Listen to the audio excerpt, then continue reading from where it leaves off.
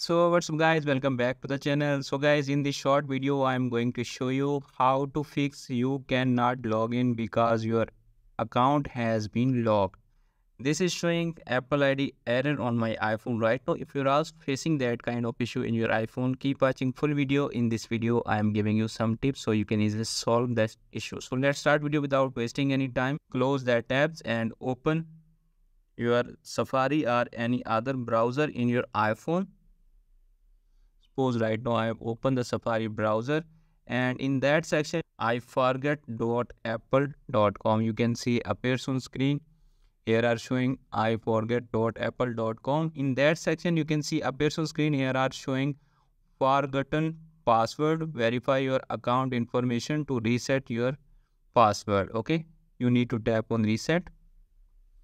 Okay you can see appears on screen in that section two options showing here. Reset my password and help someone else. Select right now help someone else.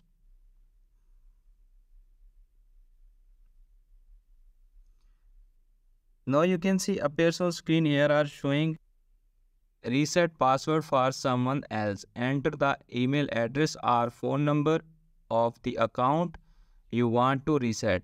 Enter Apple ID in that section and after that you need to tap on continued and reset that Apple ID password and then try to log in it again it will fix 100% and you can easily log in in your iPhone without any issue. So friends after watching this video I hope you will all know how to fix that issue. Hope this video is helpful for you. If the video is helpful for you don't forget to share and subscribe my YouTube channel and press the bell icon for upcoming videos notifications. Thanks for watching.